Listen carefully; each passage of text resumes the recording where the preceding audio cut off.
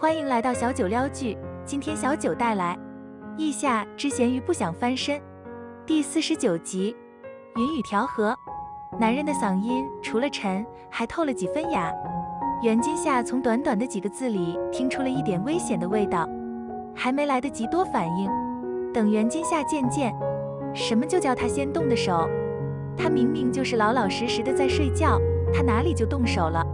袁今夏有些越不服气，像是受了极大的委屈。可他天生也不是什么受得了委屈的人。陆毅既然说了是他先勾的人，那他也不能白担这份虚名。说到勾引，这才哪到哪呀？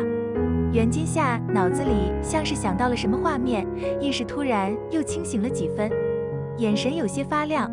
突如其来的变故让陆毅有些没反应过来。陆毅看着坐在他身上的袁今夏。只觉得细细看来，今夜的今夏似乎大有不同。袁今夏是牵起了一抹坏笑后，才附身在陆毅的身前动作的。第五十集，马斯洛。陆毅回京后，处理完了手头上余下的一些事宜之后，就渐渐闲了起来。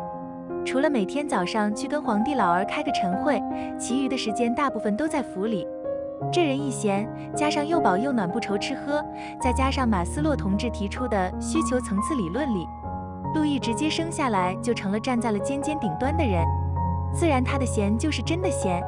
陆毅闲在了府里之后做的最多的事，大概就是没事缠着袁今夏多做运动。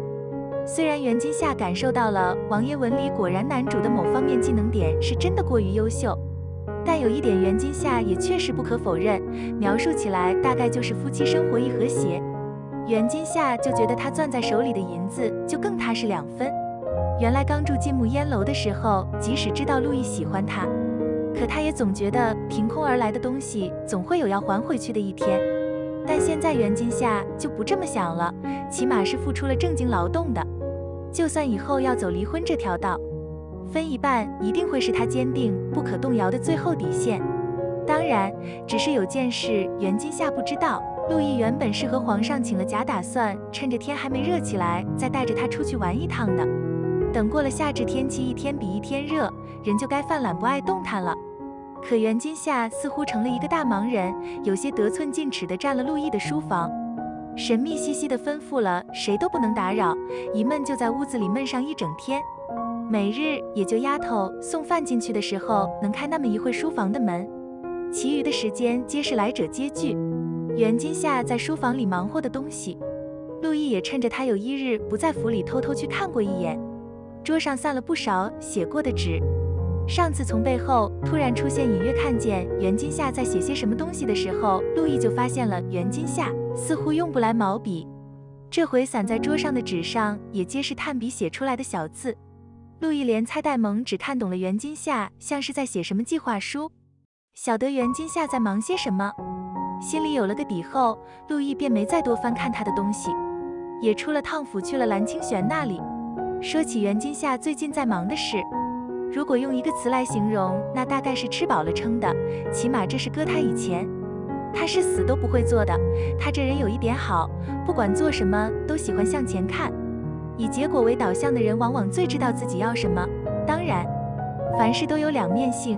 其实袁今夏自己也知道，太过向前看也有一点不好，太过于功利和计较，太懂得取舍，什么做了能对他有益。做了这一步，他下一步能得到什么？这些东西像被写了自动程式，听见事情时，结果就已经出现在他脑子里了。权衡利弊，他算得比谁都快。但不知道为什么和陆毅好上以后，袁今夏竟然满脑子琢磨的都是奉献自我、整点女性独立意识、觉醒的事。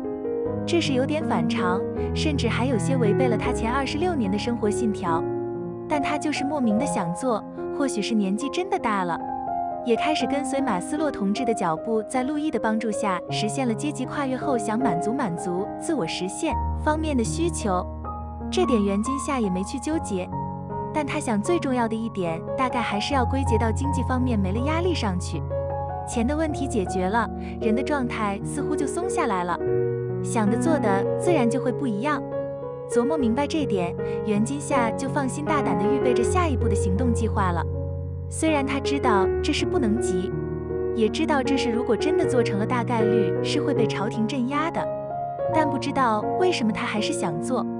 不光想做，甚至还隐隐有些觉得这是到最后，万一要是捅了什么篓子。